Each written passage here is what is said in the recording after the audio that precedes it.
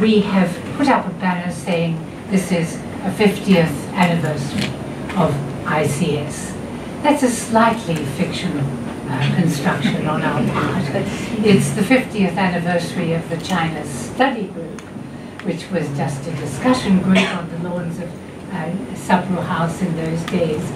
But nonetheless, we date ourselves from those wonderful days of uh, chrysanthemums and sunshine and expansive lawns and bad coffee and good, and good conversation. So um, now, as you know, ICS's major, or if you like, um, default uh, focus is and must must be on international relations, uh, that is uh, China, India, China, and the world, on India-China relations, which is a topic which um, will always occupy us uh, for geopolitical and increasingly economic reasons.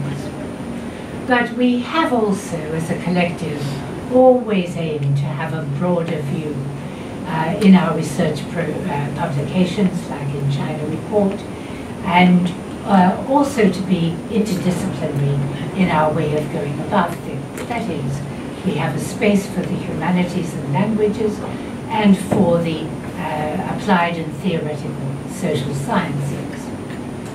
Uh, we also want to feel that we have self-consciously a location in India from which we can leverage a different sort of comparative studies to those which normally go under the, under the title of comparative studies.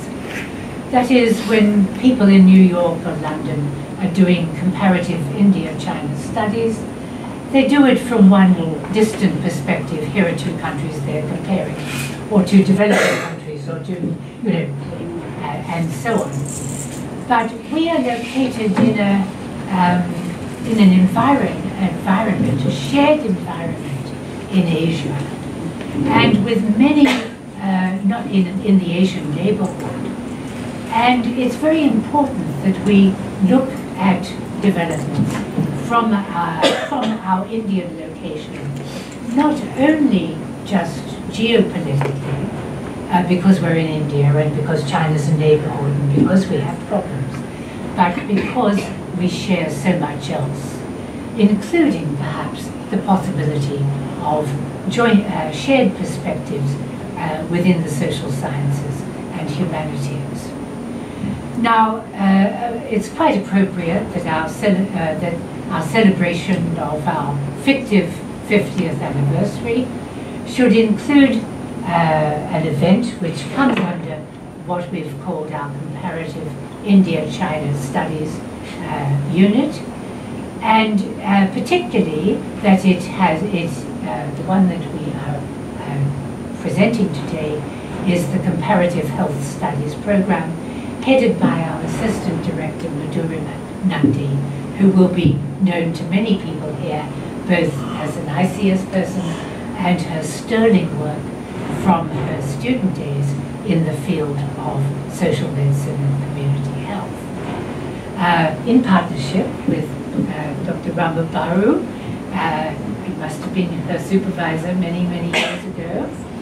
And um, they have brought a very unique interdisciplinary, they represent a unique interdisciplinary institution. um, the uh, comparative studies uh, is India and China is increasingly modulated by a global perspective. And I think that without taking the words out of the mouths of the two authors who are going to speak and to uh, introduce their book, we are looking not only at a comparison of two countries, but a comparison of two countries within a global context in which, of course, there are other players. And this is the uh, this is where uh, what the uh, book is addressed to. Now, uh, sooner or later, I, uh, I'm very sorry that Professor Manoranjan Mohanty has not been able to be here, but um, I've been tasked with reading out, I shan't actually read out, but uh, paraphrasing his uh, very nice foreword to this book, which uh, will be put uh, will put things into perspective. But before we come to that, uh, we'll treat him as he is on the panel as the first panelist, which will be me, uh, using his words. Um, I'd like the two authors, uh, Rama first and then Madhurima, uh, to uh, introduce the book. Now, Dr. Ra uh, Professor Rama Baru, I think you all know, is a professor of long standing at the center of the center Center, Center for um, uh, commun uh, community, social medicine and community health. I always get them the wrong way around. Uh, who has taught there for many years and been a core member their faculty. Uh, she's had a special focus on India, on social epidemiology and the political economy of health, women's health, research methodology, and so on. But recently, as she will probably tell you, she has been looking at comparative health studies and began with China. She's worked, of course, the, for the Ministry of Health Family Planning, Family Welfare and the Planning Commission, Population Commission, and the National Rural Health Mission. Uh, along with uh, Professor Imrana Qadeer at my side, she has been the editor of CSDS Social Development Report 2014, Challenges of Public Health. So, uh, Rama, beginning with you, um, please tell us what the is from your, your point of view. Um, Good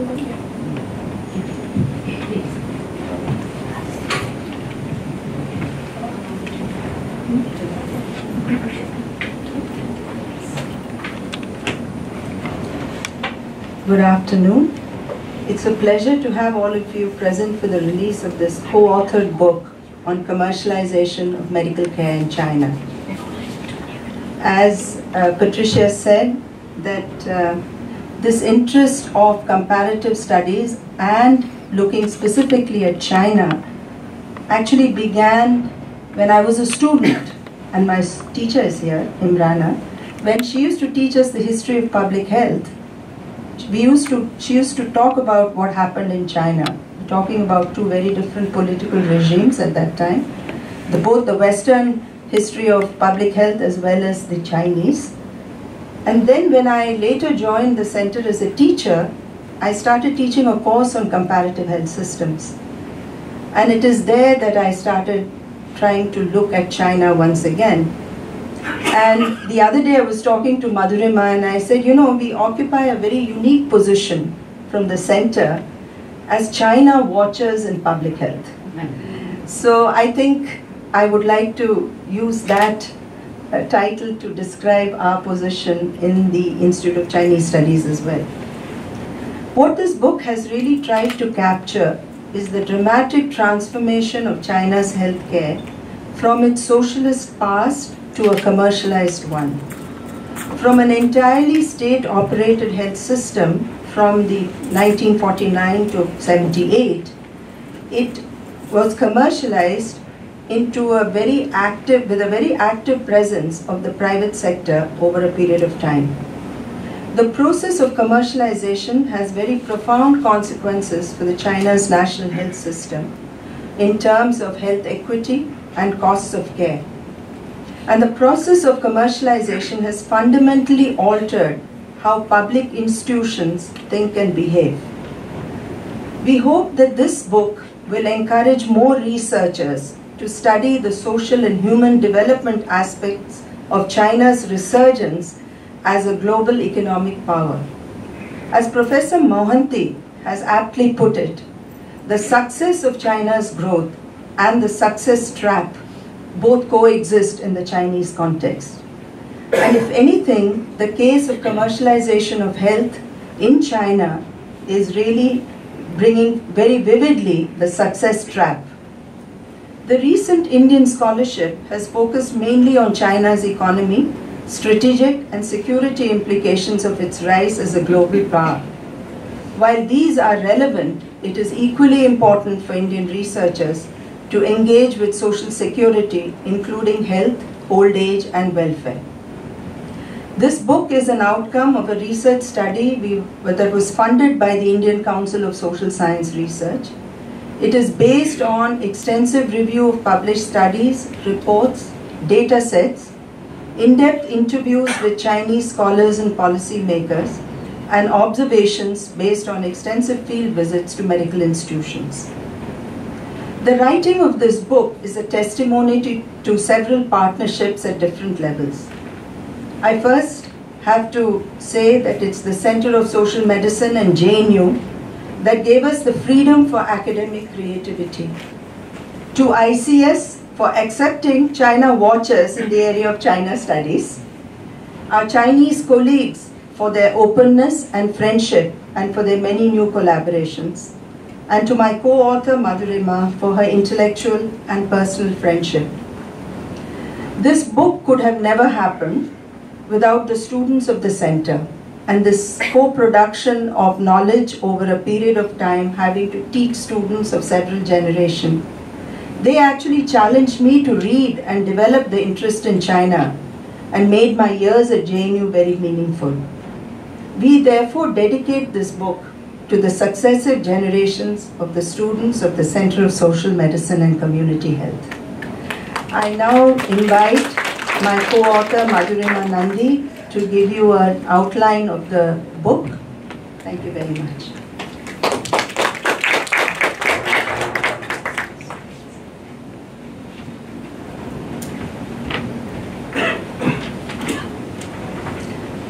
Good afternoon, everyone. It's a pleasure to be here. The book release of my first book, co-authored with my supervisor, mentor, and colleague now, Professor Rama Baru. I thank the chair, uh, Professor Patricia Uberoi, for making time to come here, Professor Imrana Qadeer and Professor Madhulika Banerjee, who have accepted to be the panelists and have gone through the book in detail, and we expect some very hard comments from them.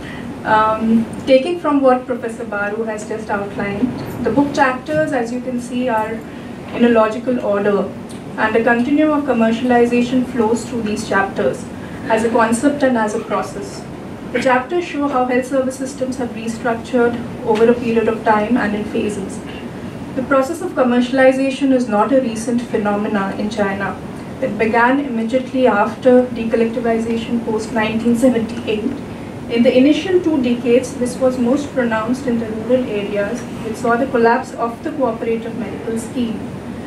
We see the continuum of this process through phases, mainly that of commercialization of public hospitals, where we see the introduction of internal markets, the entry of private capital, both domestic and foreign, and the rise of the for-profit in hospitals, pharma, medical devices, and insurance and complex arrangements that happen thereafter through partnerships.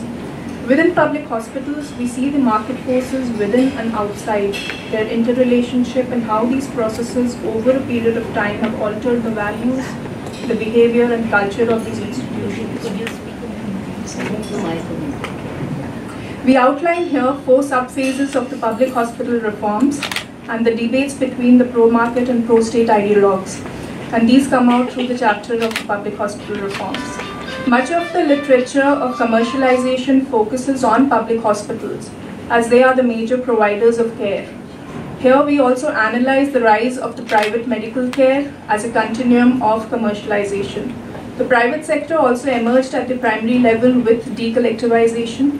Market socialism facilitated the growth of the private sector and allowed domestic and foreign capital to enter the health sector. Interestingly, the history of the entry of private capital into medical care is that of an American investor in the early 1980s, first into the medical device market and then the hospital sector. This is detailed in the book. The most recent phase is marked by joint ventures between Chinese and foreign capital and free trade zones in the first tier cities. This process of commercialization has provided with the necessary conditions for initiating partnerships, public and private, which is a more recent phenomena, a continuum to the process again of commercialization.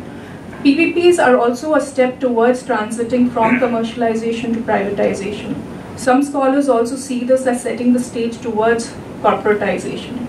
They see the motivations towards corporatization as deeply embedded in the hospital sector.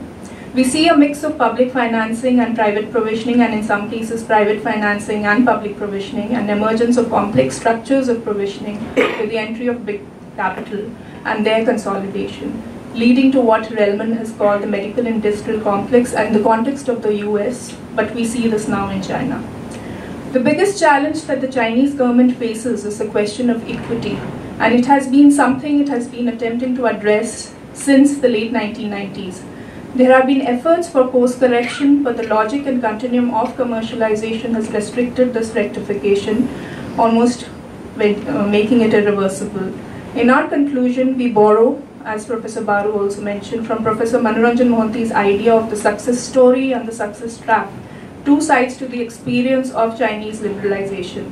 What has happened to the Chinese health sector, in a sense, exemplifies the success trap. To conclude, I quote the last sentence from our book, which is food for thought for developing countries, especially like ours, that the Chinese health Chinese case highlights the fact that high public expenditures on social insurance but limited investments in public institutions has meant that costs are going up and inequities continue to be a challenge. Thank you. Uh, thank you very much, Madhurima. I think we can go back to our original uh, um, program because I see now that uh, Professor Sanghamitra Acharya has joined us. She's the chairperson of the Centre for Social Medicine and Community Health. Uh, Mr. Ambassador Ashok Kant is here. So let's, um, we will have the icing before the cake now, the rest of the cake.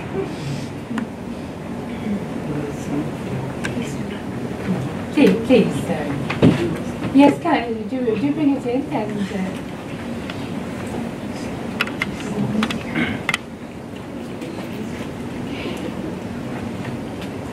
yeah.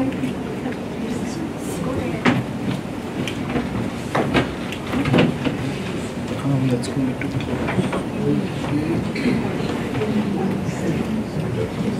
Right.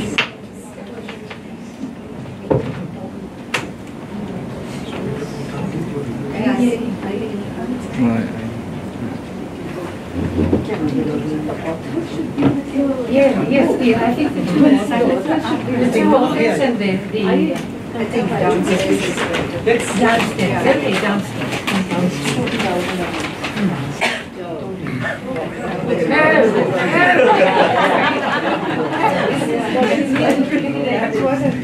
This is the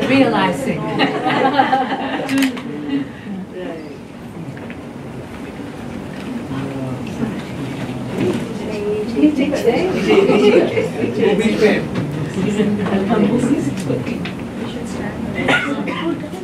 Apologies for the delay prosecution. Authors come in the middle. Office in the middle. Authors should be, yes.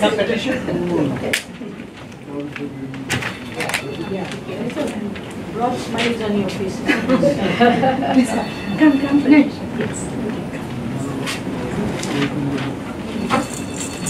Yeah, yeah. There we are.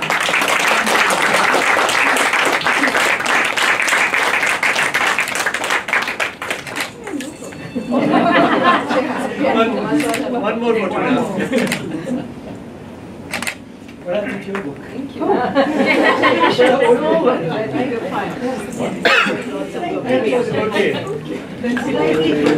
Um, One moment. Still there. Still there. Slightly closer. Madhulika, I can see. Sorry. Ready? Thank you. Thank you. Now, uh,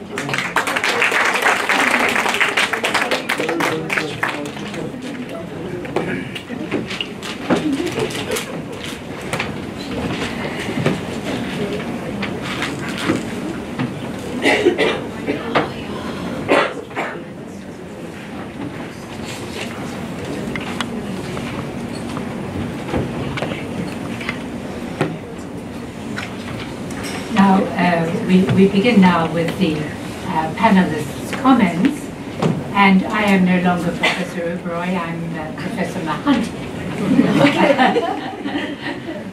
um, now, uh, Professor Mohanty has written a very lucid uh, a lovely uh, forward to this, this book.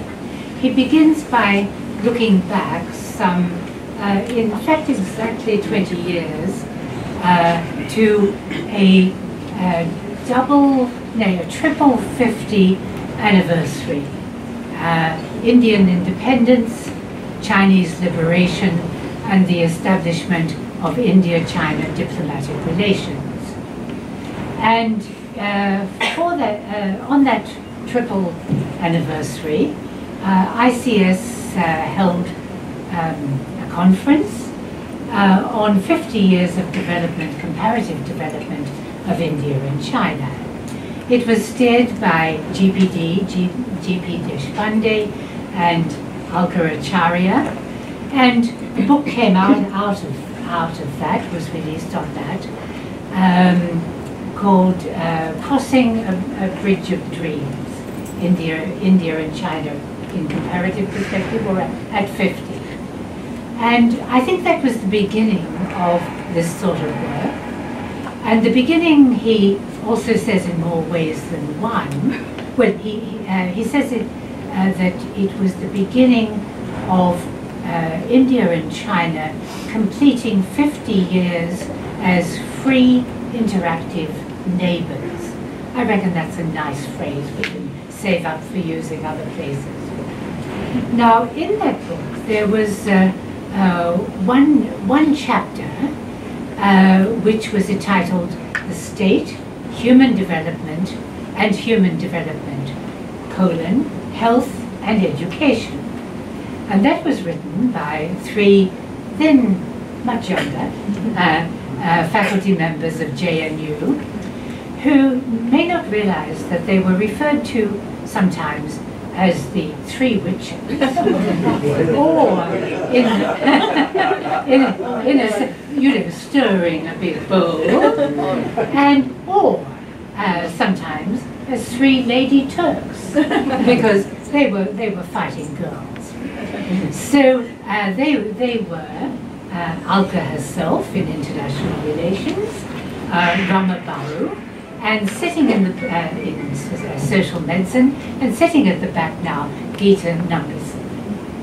And this single chapter out of about 18 or 20 in that book has been something that we've lived with ever since and really wanted to expand. So Professor Mohanty refers back to this as two growing points in our in, in our interest and agenda on understanding China better. As we said, the health, uh, uh, the health sector has been, uh, um, you know, doing very well indeed, and education is also something which we have been addressing, intermittently addressing, addressing at all levels, from primary to tertiary education. So, um, uh, Professor Mohanty uh, um, outlines basically what has already been said, that the focus here is on what is called the reform uh, period of uh, uh, China's development.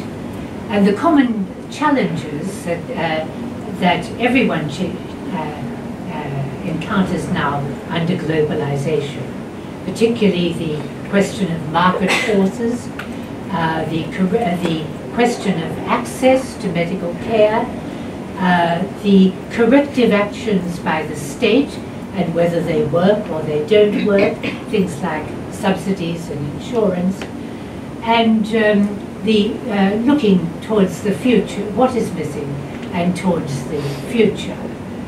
Uh, he also in for training Chinese for management and in professional uh, specializations.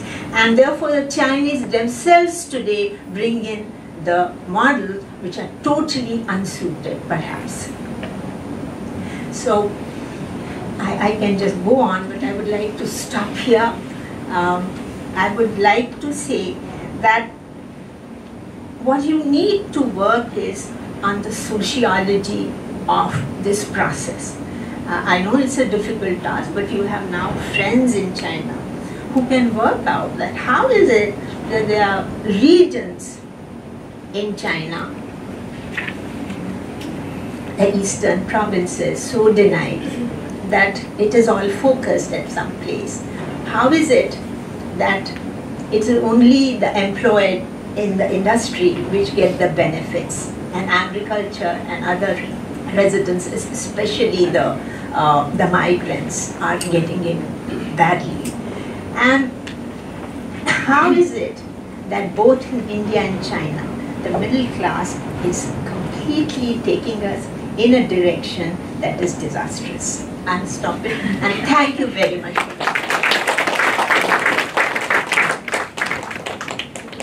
Uh, Thank you very much, Imrana, for those very, very thoughtful, wise comments with a little pinch. Yep. Uh, now I'd like to call on uh, Madhulika Banerjee. She's the teacher of politics in Delhi University, uh, works in this field of political economy, public policy, comparative politics.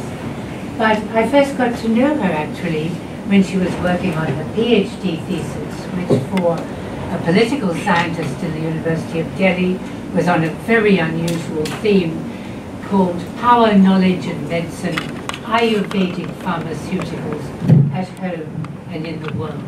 That book is uh, available. So, um, uh, you right with the mic? I'm trying to make it work. Right, okay. Uh, thank you so much, Professor Uberoi, and um, thank you very much to Rama and Madhurima for asking me to uh, speak on this, uh, on their very, very exciting book today. Uh, I have to say, since uh, Professor Uberoi referred to the PhD I did, it is uh, very lonely out there because if you are one person working on medicine and the rest of your discipline has no clue what you're trying to say, what you're trying to do, then it's friends like Rama and Ritudi and Sanghamitra and, and indeed Professor, both the professors Uberoi, who have been, uh, you know, the so, interlocutors uh, and people with whom one has uh, grown so much, having learned in communication and in, uh, um, in uh, you know, sort of uh, uh, a, a sort of entire academic orientation that I've had with all of them. And I have to say, since this is an afternoon of uh, teachers and supervisors being together, let me take my little claim as well, because uh, Professor Qadeer was uh, one of the uh, examiners for my thesis, that thesis that I did, and I haven't forgotten that. Uh, and the person who is absent uh, today, and everyone is missing very much, and it would have made a big difference had he been here. Professor Mohanty was indeed the one who supervised my thesis uh, at Delhi University. So we are all a very, very small, incestuous uh, circle over here. But I hope uh, not uh, a, a circle that is uh, incestuous to a purpose, because um, uh, this is a field which which requires people from different backgrounds to come in with their disciplinary understanding and uh, to build understanding of contemporary developments, which uh, are, even if we are focused on medicine, uh, we recognize that so many different uh, inputs are required. And so it's, uh, it's a very fascinating journey for those of us who do come from certain kinds of training to work on these areas. Um, and uh, this, this kind of an occasion is a wonderful opportunity to exchange notes on that. Um, I was uh, uh, very, uh, I'm, I'm very honored that uh, Rama asked me to speak on the book. Uh, also, I was very nervous, I have to say, because um, I do not uh, teach regularly on public health and medicine. So one doesn't have that kind of felicity with the information, with the analysis, that you know this book is so very rich in. And um, it was a relief that Professor Qadeer spoke before me uh, because she's actually spoken about uh, the most important, um, you know, uh, debates in the book, uh, which locate it as a very significant intervention and contribution to the public health uh, uh, discourse, public health debate, and of course locating it in the India-China comparative framework, which uh, is, I think, very, very important for us. Uh, today. It always has been, but today more than ever. Um, and I, I, I uh, learned a great deal uh, from this book. And um, one of the things that uh, uh, it, it I, you know, brought home to me is that today when we are debating so much on universal health care vis-a-vis universal health coverage, I think that this is a book that brings home the reality on the ground in one very significant national nation state context where this debate is being played out. And therefore affords a very important set of insights for us to understand uh, when we are talking about public health do we or do we not focus uh, do we or do we not target it towards universal health care or do we cover uh, focus on universal health coverage um, the way Professor Qadeer has laid it out, um, I think, really addresses those concerns um, very significantly. So I will not uh, dwell on that.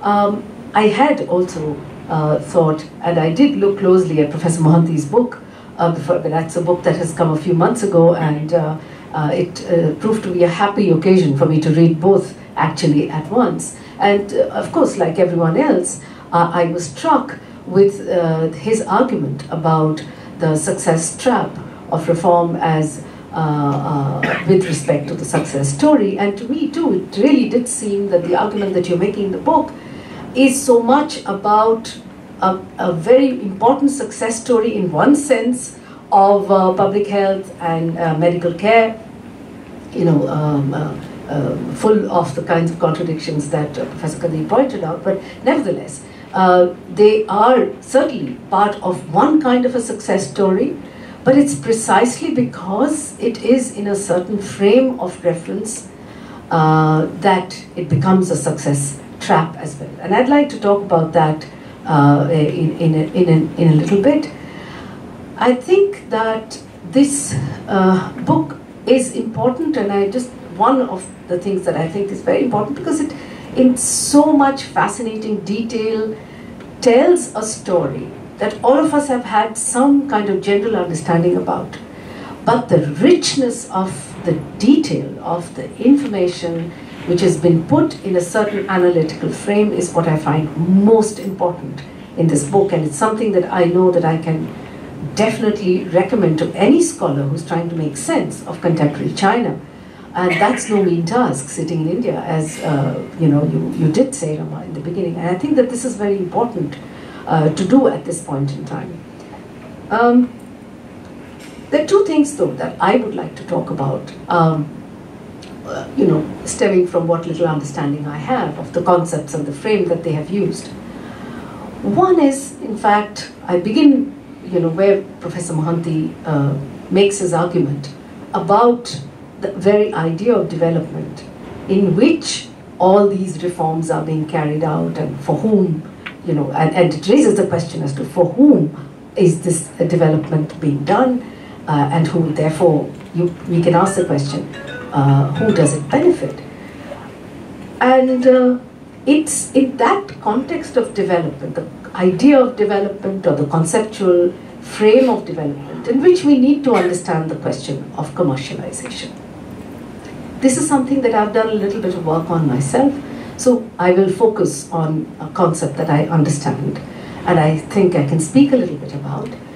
And I think that what is important about the process that we understand as commercialization is that it has a certain trajectory.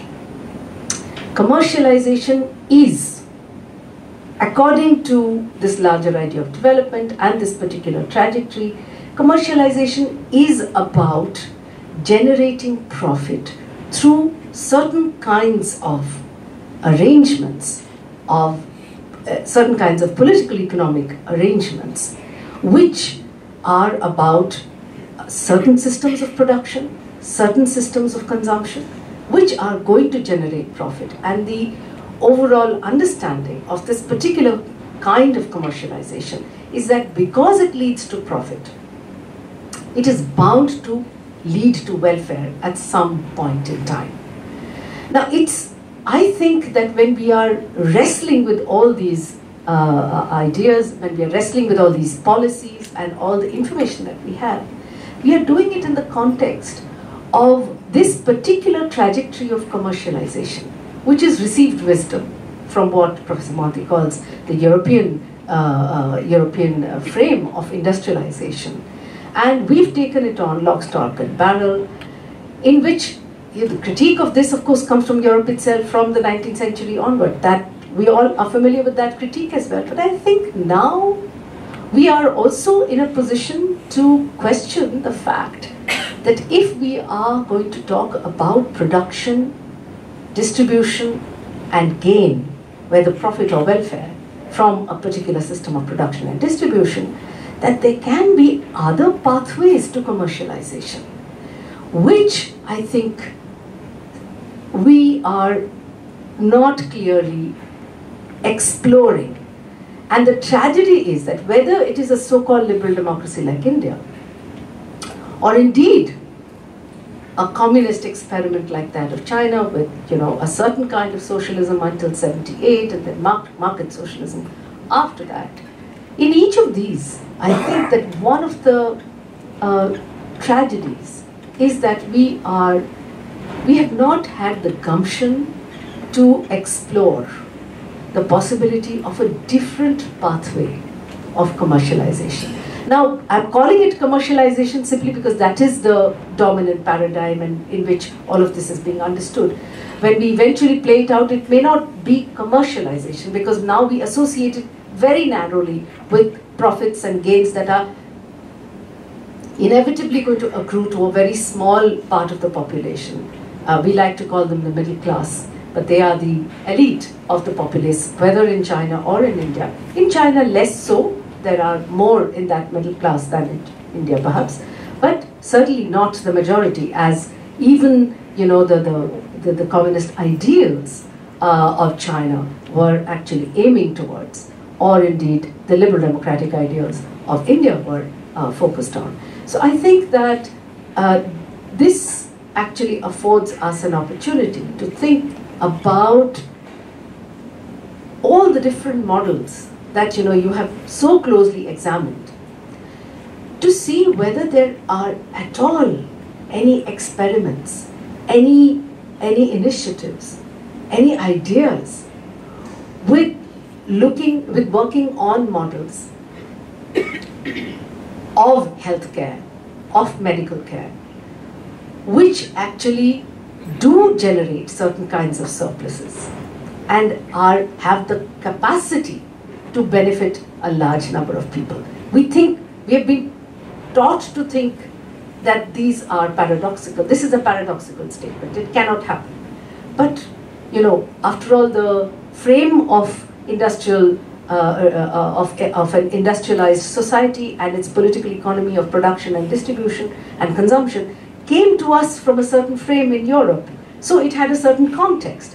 When it, it is deployed in contexts like in India and China, surely there are there is a potential, there are possibilities for it to be spelt out in different ways.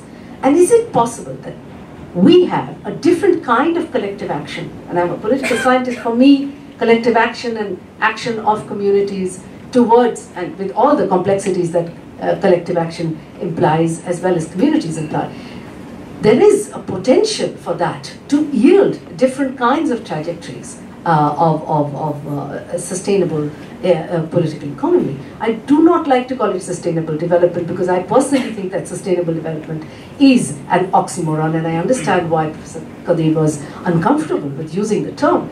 So I think that when we address ourselves to uh, an issue as significant as this, there is a real potential for us to explore the possibility of different pathways to sustainability which are actually uh, able to generate a certain kind of surplus and able to reach the benefit of that production economic system, production distribution system to a large number of people that earlier forms did not do. I'm just relating it to the idea that, you know, every chapter, when you're describing every phase, you know, you remind us that it is when collective agriculture, collectivized agriculture broke down, and the surpluses that came from that those agricultural, uh, those collectivities, the communes, uh, those surpluses broke down. That the financial support for the public health systems, the CMS, that had been put in place until 70s, those broke down. So clearly there was a link between a certain kind of political economy that had been experimented with by the Chinese state uh, until then, with the kind of public health it was providing. So that shows that we need to create other kinds of surpluses in a larger social space which can then be deployed for a larger social purpose like public health, which is something that we are missing. And what we do is, it's an either or kind of uh, uh, uh, question. So if we are not able to do it from collectivized agriculture to public health, then we move straight out of that into privatized realms of both agriculture production as well as health production. So there is that very big gap between that transition, uh, in that transition between the two models, which is where we need to locate our questions. And I think that uh, that is something that we in India need to do. We are doing, many of us, uh, you know, are exploring these possibilities on the ground. And I think uh, our academic discourse is really much slower always to catch up with what is on the ground. I have a feeling that that possibility may exist in China. I don't know, I've never done field work, not studied it so closely. So, but I just wonder if that space is something that we could, uh, we could uh, explore. I'm particularly emboldened to say this because you have been talking about exploring the comparative studies and, you know, I do think that it's so important. Um, who knows? I mean, this is something we may be able to do. Uh, that's uh, one thing I wanted to say. The second thing, of course, uh, that's the other vantage point that I uh, bring my study has been on uh, traditional medical knowledge systems for, uh, that's what a lot of people know it as, and therefore I use that term uh, simply as a point of reference so everyone knows what I'm talking about. I do not like to call them traditional medical knowledge systems anymore, uh, but this is not the space to discuss why and uh, what I call them instead. But what I'm interested in talking about is that I know that this book is not about uh, the traditional Chinese, uh, Chinese uh, medical system. Uh, but this trajectory of commercialization is exactly what has been happening in, the, in what they call TCM, traditional Chinese medicine. I studied a little bit of it because when I was studying Ayurveda and looking at it in terms of the global uh, context and how Ayurveda has commercialized, my work is on the standardization and commercialization of Ayurveda. There, I, I do have a section, I have to humbly uh, uh, you know, allude to that, uh, uh, because there I find, and this is where is the interesting comparative point that I made 10 years ago, uh, between India and China, that we've approached the major project of the modernization of our traditional knowledge systems in two completely different ways. The Chinese given that their medical knowledge system was an intrinsic part of their revolution, of their entire revolutionary mobilization, you know, it was part of the long march, it was part of all the initial primary healthcare systems. The idea of the barefoot doctor comes as much from the practitioners of traditional Chinese medicine as they did from the modern doctors who went and worked uh, on the ground. And the two uh, uh, civilizations enjoy a very uh, deep uh, engagement and it's, it's not engagement, it's a part and parcel of the civilization, the kind of knowledge system, medical knowledge systems we've had and we've lived with uh, for so uh, very long. Um, for China, the modernization was about creating common parameters between TCM and biomedicine. And using that commonality of parameters to co-locate, what we have called co-location in uh, you know, policy uh, from the NRHM that happened only a few years ago. This is uh, this was the focus of the Chinese right from the beginning. Uh, they uh, they uh, co-located and all all hospitals which you know you're talking about always did have you know the traditional practitioners and patients had the choice to go to either and sometimes there were actual collaborations between doctors uh, to decide on uh, a patient to see what medical uh, system what medicines what uh, uh, treatment uh, system regimen would suit the patient's condition better that would actually decide what kind of health care the patient received. So this was a very remarkable example and uh, for us in India it was, uh, I mean I found it really fascinating um, which contributed towards several things not only equity and so on that you've been talking about but also about putting different knowledge systems that purportedly come from tradition and modernity and where we see them always in conflict with each other, they actually made an effort to put them at par. However, my uh, biggest discomfort with this whole process was that the epistemological parameters of TCM were made to compromise. And this is a very, uh, you know, difficult and complex and contentious thing to say, but this is my understanding that they, and this is my understanding that I derived from anthropologists who worked on traditional Chinese medicine, that they were expected to conform to the parameters of biomedicine, uh, whereby they actually went to uh, went on to adopt the diagnostic tools, the treatment regimens, and thereby also the entire medicine, you know, the actual medicines that were available to TCM uh, were transformed to the standardized medicines of biomedicine. In India, it was completely different. This thing happened, but this was not the imperative of policy. The imperative of policy in India was very different, and the understanding was that the epistemological parameters of each and every system in India would be respected, and they would be expected to uh, function within that. Very little support came from the state and so on, uh, but that, this is not the space to talk about it. But what happened was that when all of these systems entered commercialization, and that's the point I want to talk about, when they come into the whole trajectory of commercialization, then the manner in which traditional Chinese medicine commercialized actually was cast completely in the commercialization framework of biomedicine. And if you read the reports today, I mean, it is the international, and for a large number of reasons, in the last 25 years, the international market for so called herbal medicine has exploded, and lots of new entries have come into this. The traditional Chinese medicine manufacturers are the biggest uh, participants in this, and want more.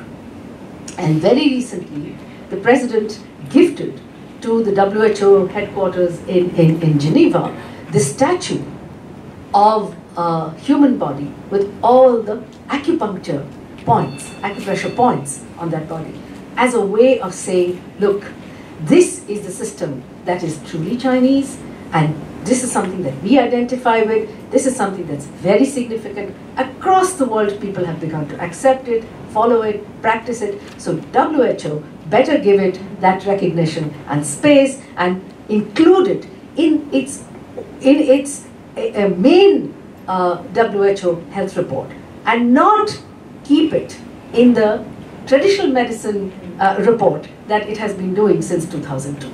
So this commercialization is happening parallel to the commercialization that you're talking about. And somewhere, I think we really need to understand why and how this is happening, how the two influence each other if they do at all, because we know that a lot of cross-sectoral influence is happening in India. I think that this holds a key to understanding why, for instance, they are able to keep out of pocket expenses at a certain level. We don't know how much of that you know, and we are whether we are calculating how much of that is going into TCM, etc. I think these are the interstices of your argument, which would be very fascinating to explore uh, from here on now.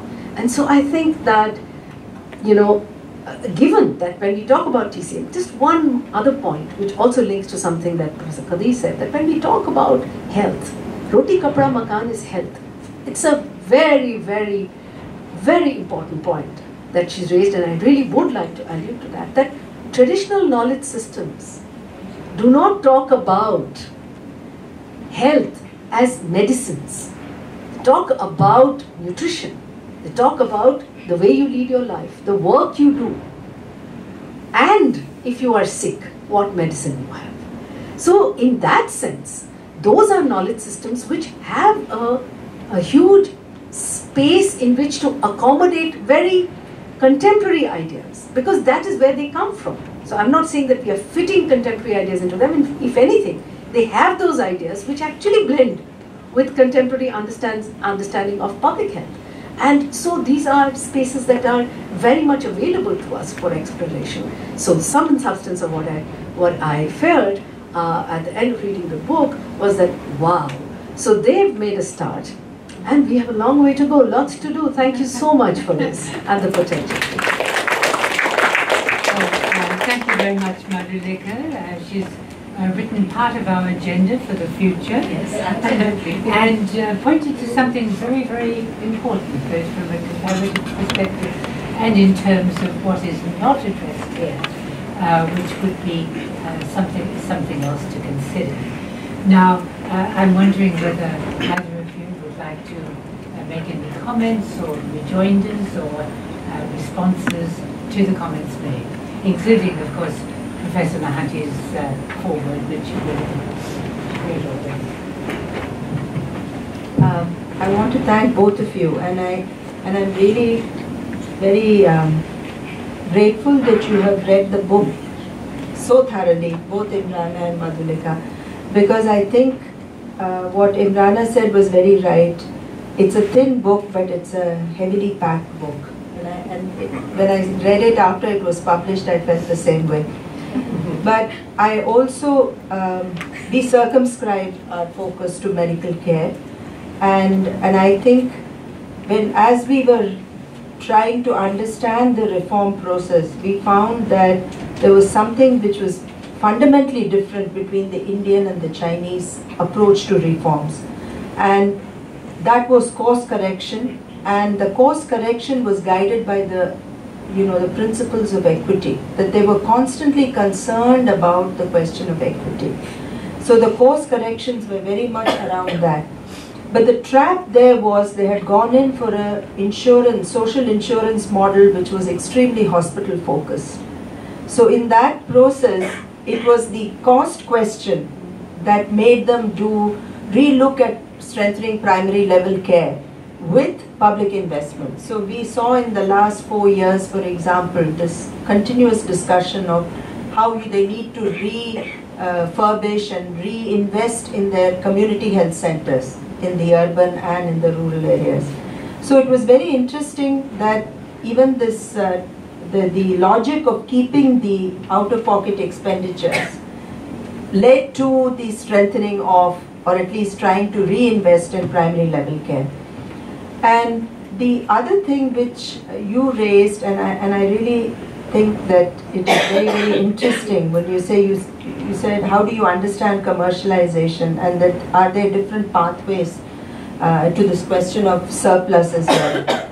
Actually, what we have tried to do is, and it, it's becoming very clear in our work when we look at arrangements for older persons care in China. And I think that's where the greatest amount of innovation is happening in terms of both partnerships and in the way commercial interests are being geared towards, you know, in, in municipalities. We've looked only at Shanghai, where they are using commercial interests, but for a municipal municipality gain, meaning there is a collective understanding of the needs of the poor, of the older persons, and they also have a graded understanding of the needs of older persons. So what they are trying to do, which we of course are nowhere, we are, we are actually non-starters on this issue. um, is how the health services speaks to social care. And I think, and their social care is not all government funded social care. So they are, you know, looking at other ways of arrangements. And even their public-private partnership institutions for institutionalized care are done in a very different manner. I mean, and that is something we are going to work on in the next few years. TCM has been a very, very interesting case and it has raised many questions. And I remember when I came back once and having a conversation with Ritu, I said that's a whole area that needs to be explored. Because you're right, there is commercialization of TCM, but a lot of the questions that you are asking, we saw co-location, we, we saw a lot of older persons coming in for, say, an intravenous drip. That seems to be a favorite in uh, China but they would also go to the um, TCM. And when we saw end of life care, we saw the interaction between TCM and biomedicine quite uh, significantly, especially in pain management and things like that. But this was like more on observational visits. We didn't really work on it, but please come on board into ICS. All those who are interested in TCM, I think we can do a lifetime of work on it because I think the questions that we need to ask have to be discrete and then you know if we are able to sort of form a group that would ask questions that interest them I'm sure we'll create a body of knowledge which would be extremely valuable for comparative work and I just want to say thank you both so much because they were extremely insightful engaged comments and I really enjoyed both your interventions uh, and of course Professor Mohanty he's mentored us right through I think we passed our manuscript through him, and if I'm not mistaken, he's probably the reader of our manuscript, and he wrote the foreword.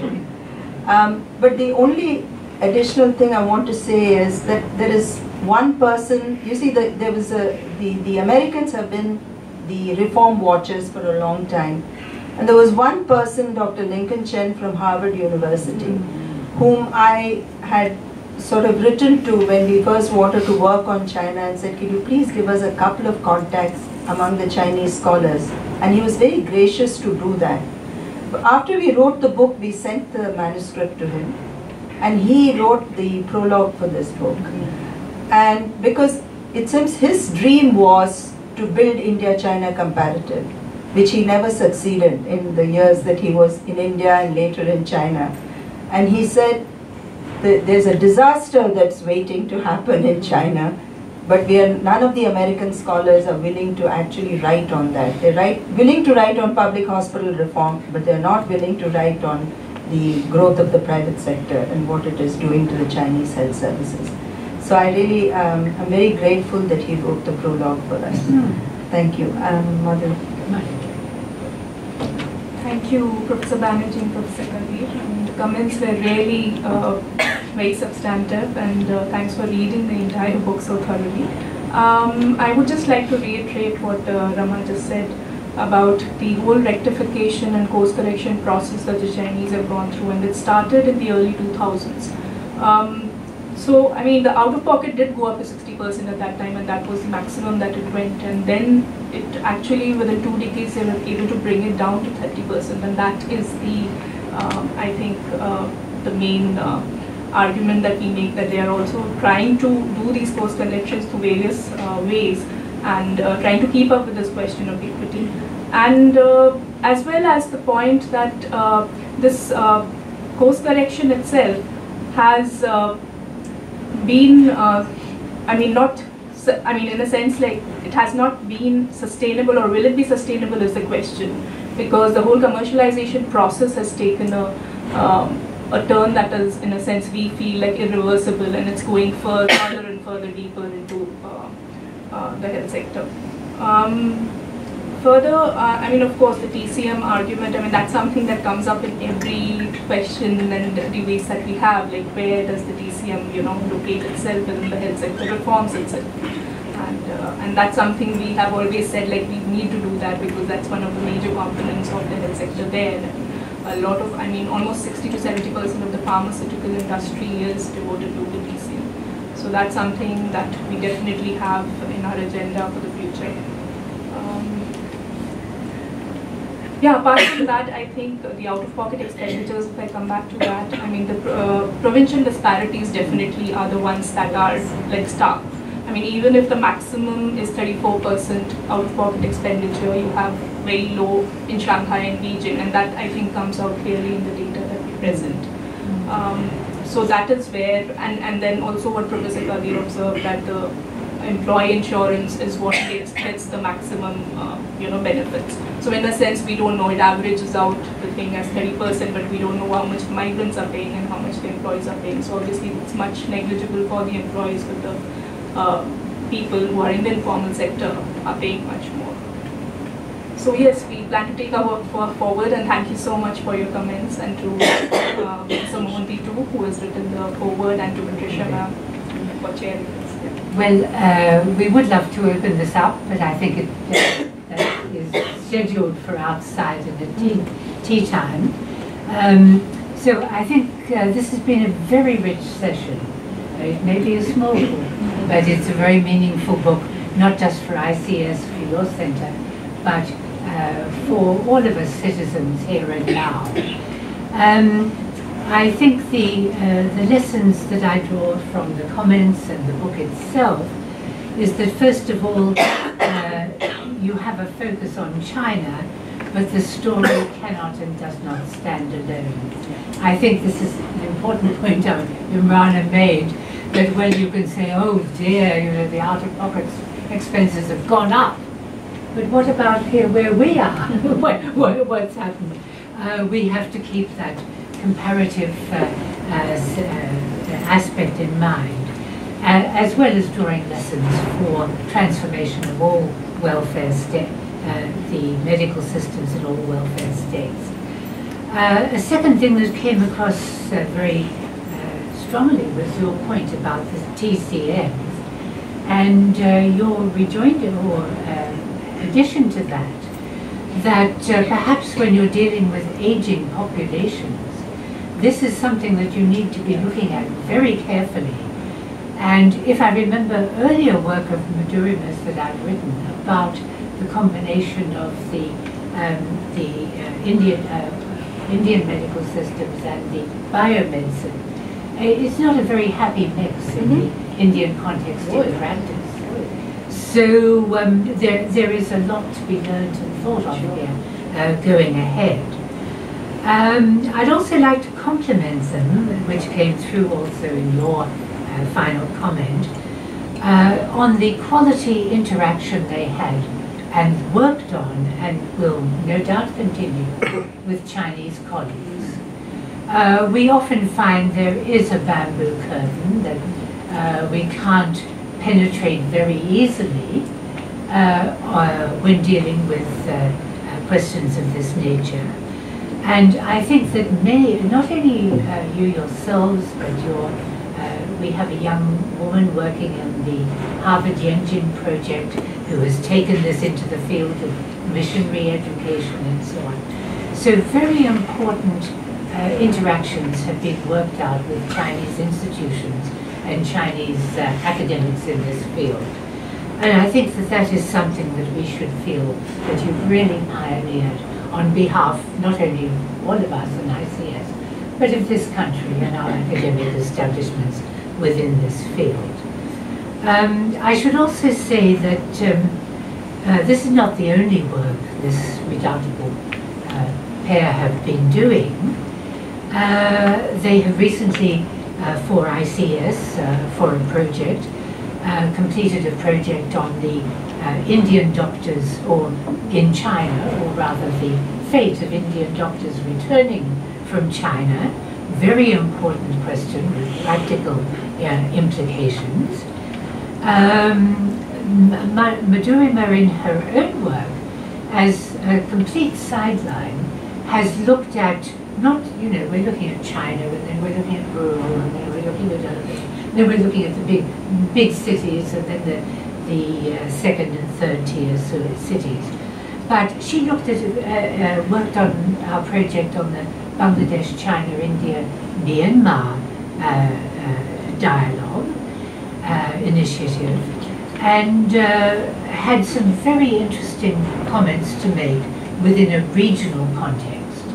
I think this is something that needs, you know, uh, germs don't stop at borders. And uh, there, you know, there is a whole area, if you like, which is uh, facing the same problems, where you could have very important regional dialogues. Uh, one of the things she brought out here was the something which uh, she brought up five, five years ago, maybe, but is now sort of hot potatoes. Uh, that is drug TB, drug-resistant TB drugs. And this is a regional problem in that particular uh, region of northeast India, Myanmar, Southeast Asia, and southwest China. So there are a lot of uh, lessons to be learned from that. Um, so um, uh, altogether, one's come away with a lot to think of.